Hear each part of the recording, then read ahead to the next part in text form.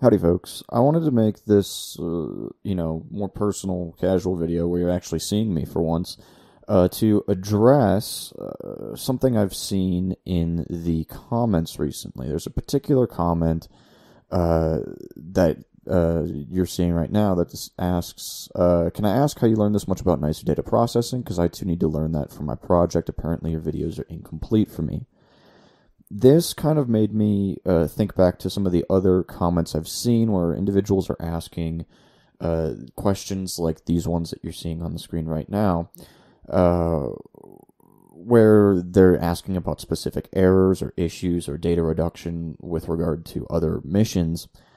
And I'd like to just take a few minutes here to explain uh, or, or, or to answer uh, the question of how I learned NICER data processing and how I learned, uh, you know, how to do things in astronomy and astrophysics, um, and also uh, kind of explain why the videos, the the HEASARC or HEASoft, or, or, really any of the astrophysics videos I do for that matter, are meant to be somewhat incomplete. At least the tutorial videos, anyway. They're they're they're sort of meant to be incomplete to a certain extent, or they always will be.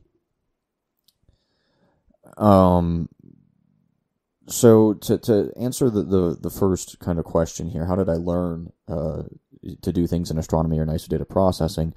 Uh, yeah, we actually have to go back to 2018. In 2018, I was a student, and I needed to do research work, uh, you know, to get my degree, as every student needs to do. So I joined a theory group uh, studying neutron stars, a neutron star theory group. I knew I wanted to study neutron stars. I knew I liked them. I knew I was interested in, in neutron stars. And I, so I joined this theory group. Now, my advisor, uh, she's been doing neutron star theory for many, many years, but she also uh, had a few individuals who uh, had branched out and started doing things in AGN and whatnot. And so, while she didn't necessarily have a ton of uh, experience with uh, observation, she started sort of uh, moving into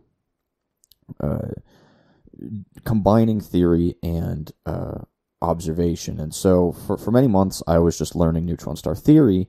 And then she said, okay, well, there's this new mission, NICER. It's primarily, uh, you know, going to be to study uh, neutron stars.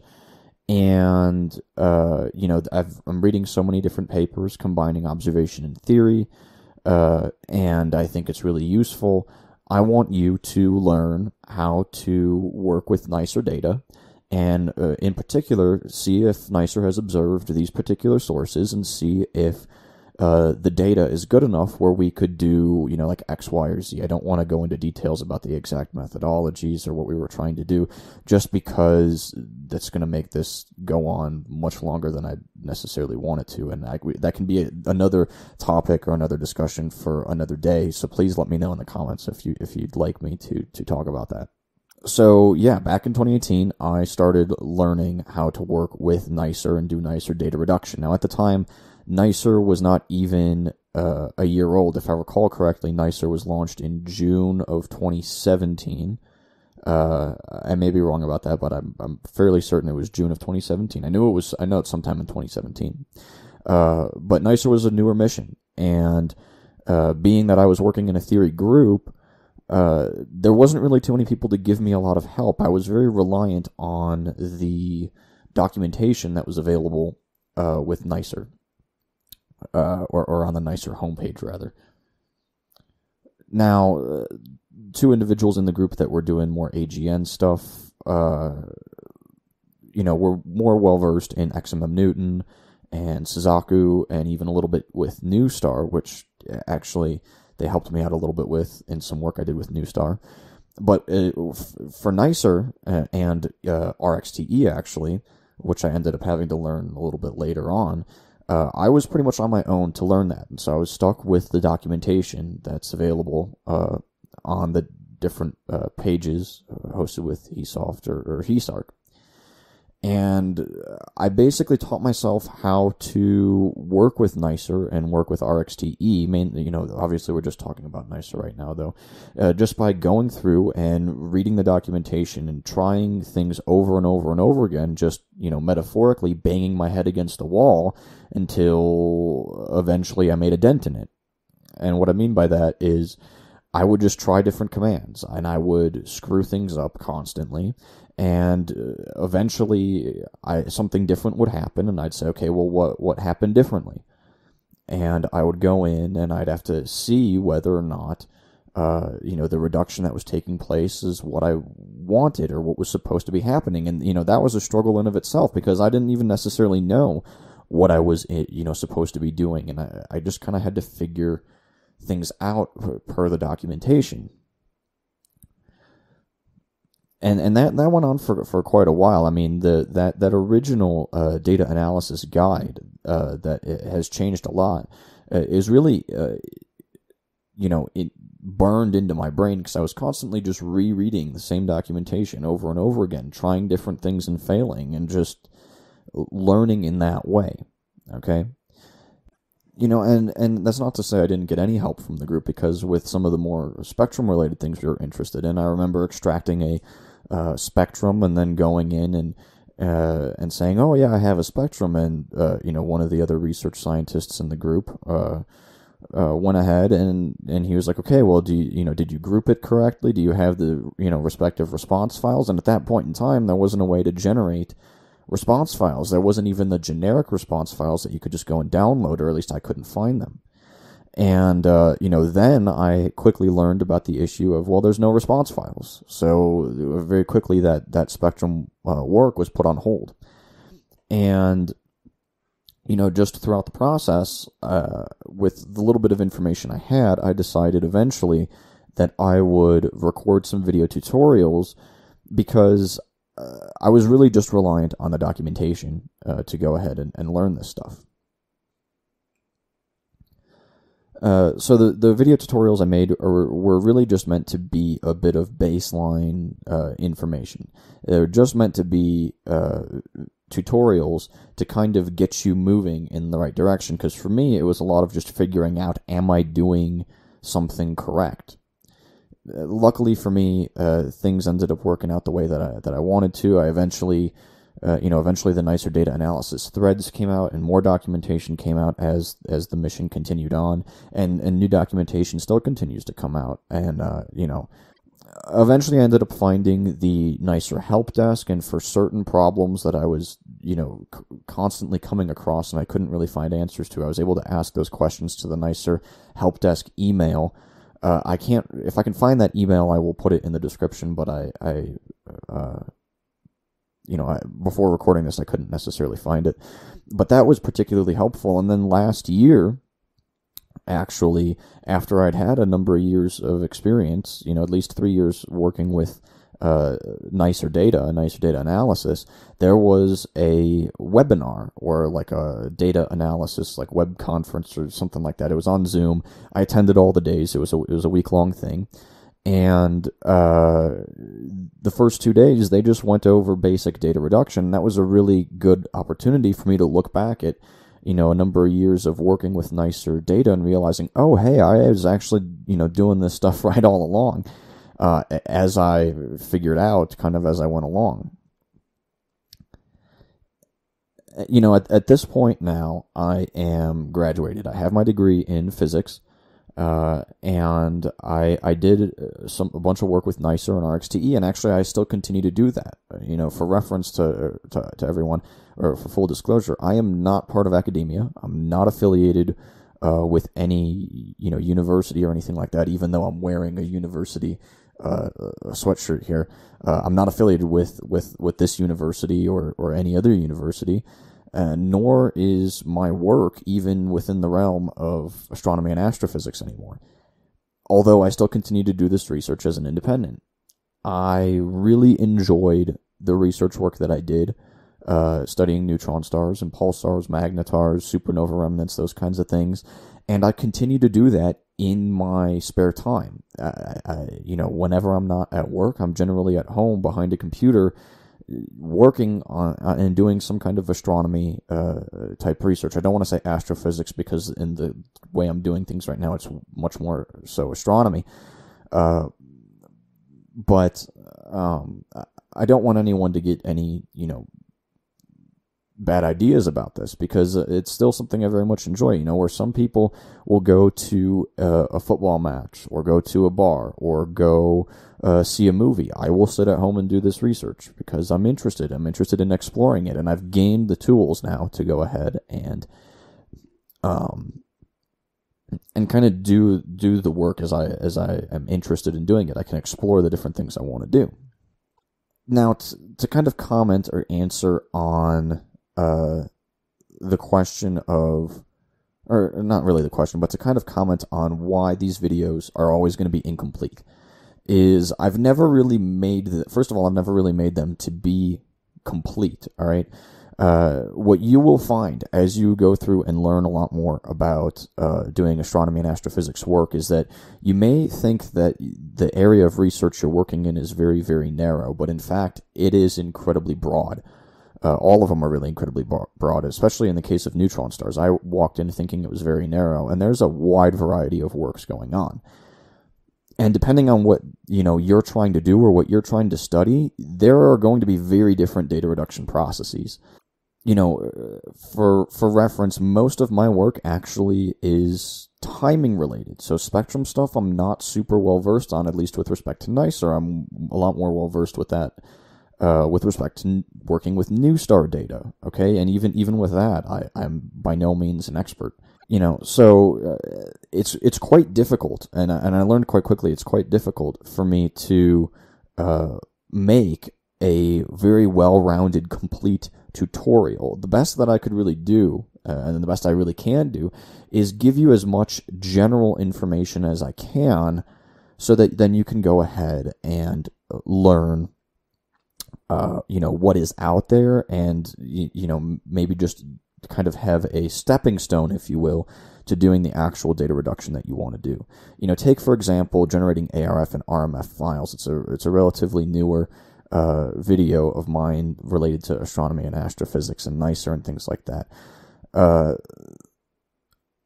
I am not necessarily generating ARF and RMF files all that much. Again, you know, most of what I'm doing still is timing work. I like timing work, and so I'm maybe only doing spectrum analysis once or twice a month.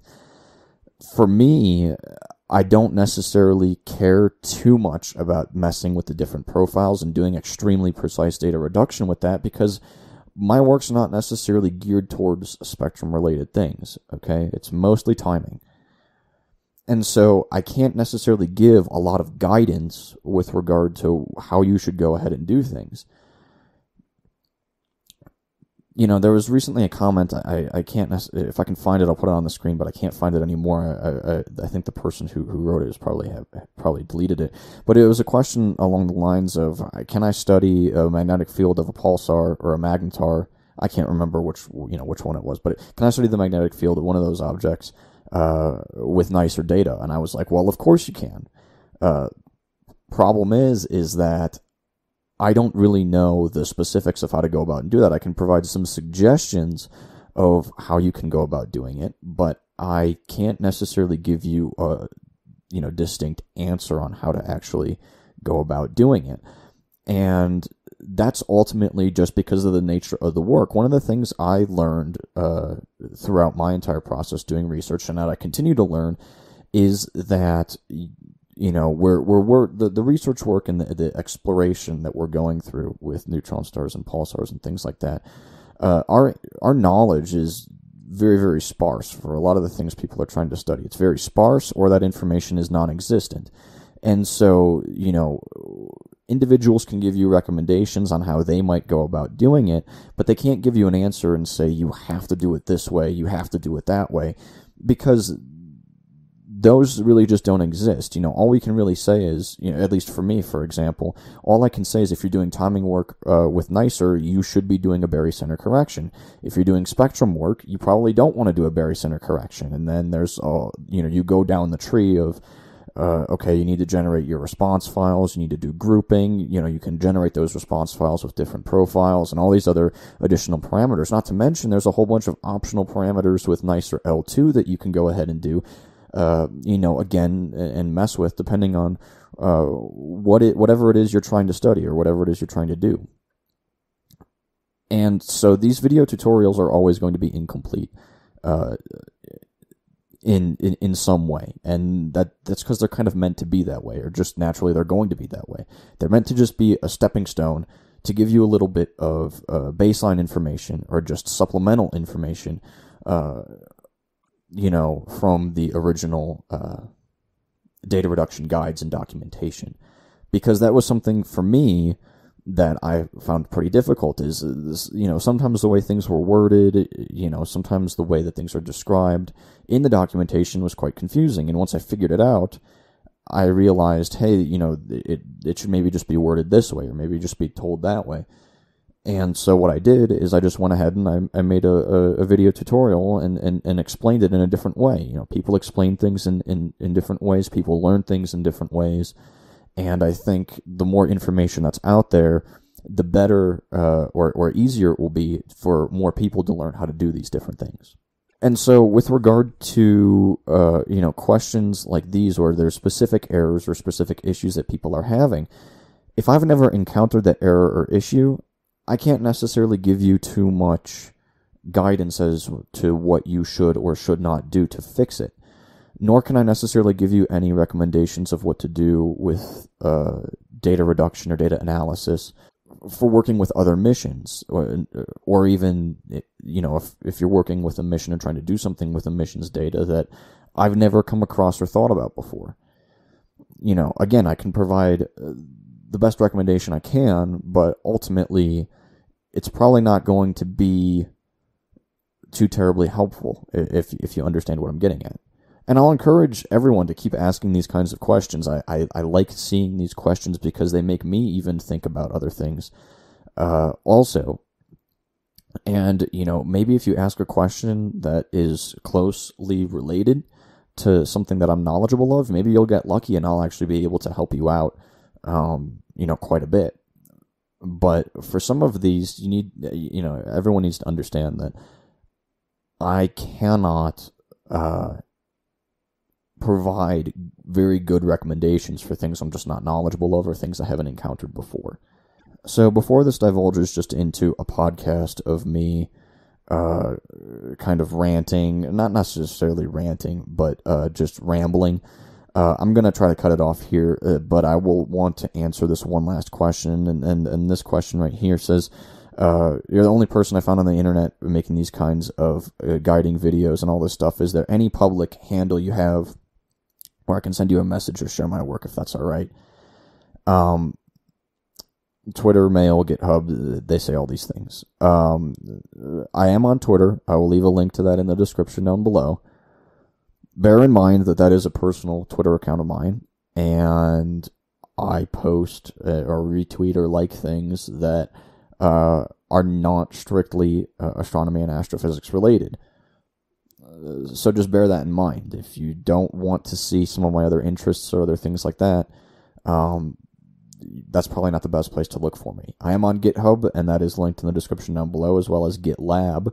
Uh, those are always linked in the uh, computational linear algebra videos that I've been making recently, and uh, that I will continue to make.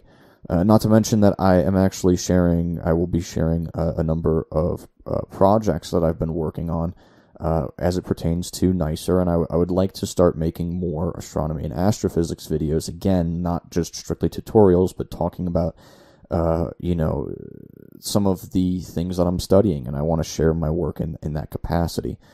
You know, again, I, I do this work out of interest uh, for myself and as an independent, and it's because it brings me happiness, it brings me enjoyment, and while I'm not necessarily super interested in publishing in an academic capacity, I think putting out the different things that I'm doing and putting out the different things that I'm finding uh, will spark a good conversation, and I think many of you will be interested in that. Uh, as far as mail goes, you can find that, or you might be able to find that on GitHub or GitLab. Uh, but those are really the best places to reach out to me. One of the things I've thought about doing, and certainly let me know in the comments if you're interested, is making either a subreddit or a Discord server for us to kind of have conversations with this kind of stuff, or maybe even a Slack channel. I just don't really use Slack that much, so that's why I think Discord's probably a little bit better. You know, there are different ways to reach out to me, and I will, of course, link all those down below. Um, and, you know, I'll encourage you to do so. Uh, the one thing I will just say is, you know, if if you're not going to be respectful, I'm not going to respond back to you, and I'll probably end up blocking you. Um, that just seems to be a continuous issue with a lot of individuals on the internet. Not necessarily, uh, I've not necessarily encountered that yet myself in, in too great a magnitude, but uh, I know that is an ongoing issue. But yeah, the, this is just meant to be a, just a quick little discussion for me to answer uh, a, a, few questions and comments. And, uh, you know, if, if you like these types of videos, certainly, of course, let me know, and I will make more of them.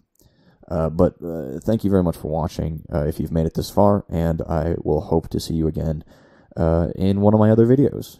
so thanks, everyone.